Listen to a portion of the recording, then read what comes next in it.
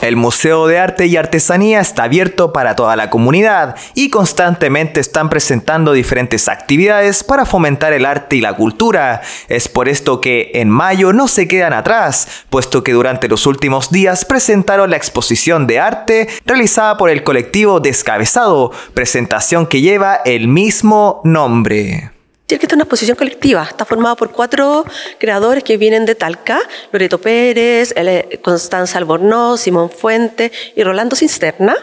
Eh, esta exposición se llama Descabezado, al igual que este grupo, que también se llama Descabezado. Habla de este volcán que tenemos acá en el Maule, este gran eh, elemento telúrico, y la muestra tiene que ver con eso, con el territorio, con nuestra geografía, con el paisaje, con los oficios que se dan en, nuestro, en nuestros valles, en el campo, y da una mm, mirada un poco más analítica de lo que nosotros vivimos en nuestro territorio. Una de las cualidades que tiene esta exposición, que está dividida por áreas, es la intención de los autores a que haya una interacción con el público. No es la típica exposición donde uno solamente viene a mirar, a observar, sino que también la hace muy interactiva. Eh, este tipo de obras se le llama instalaciones. Es un concepto bastante ya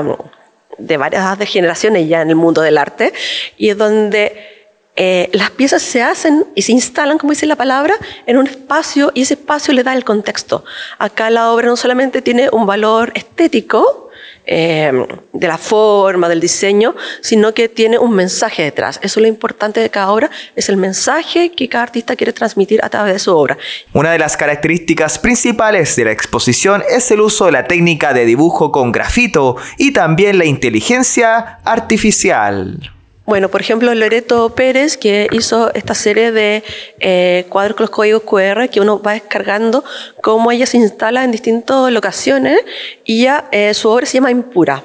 Y tiene que ver con esto, eh, van a ver que hay unos platos con lenteja y con eh, semillita y otros elementos, y cuando las mujeres eh, limpian los porotos para cocinar, les sacan las piedrecitas, la impureza, los palitos, y tiene que ver con esa, ese proceso de cuando uno cocina, el cuidado de, la de las madres, de la abuela, eh, toda esa rutina es casi como un ritual de limpiar los alimentos que nos trae la tierra. La invitación está hecha. Si quieres apreciar el arte que es desarrollado por artistas maulinos, visita el Museo de Arte y Artesanía de Linares. Los horarios de atención son de martes a viernes en la mañana desde las 10 horas hasta las 14 horas y luego en la tarde desde las 15 horas hasta las 17.30 horas. Las consideraciones más bien tener cuidado, en este caso sí se pueden tocar algunos elementos,